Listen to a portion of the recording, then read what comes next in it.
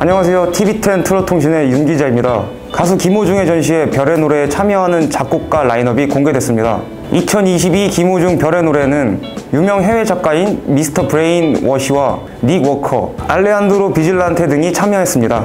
미스터 브레인 워시는 현대 미술의 새로운 역사를 써 내려가고 있는 작가이며 닉 워커는 1세대 그래피티 아티스트, 알레한드로 비질란테는 아르헨티나 출신의 세계적인 팝 아티스트입니다. 이뿐만이 아닙니다.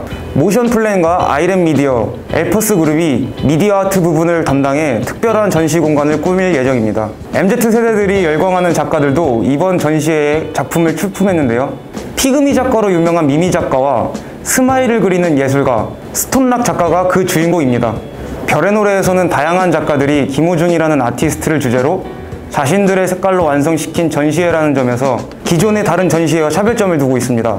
한편 별의 노래는 오는 9월 17일부터 11월 20일까지 더 서울 라이티움에서 열린다고 합니다. 그럼 오늘도 버릴 소식이 없어 전한 트롯통신이었습니다. 행복한 하루 보내세요. 안녕!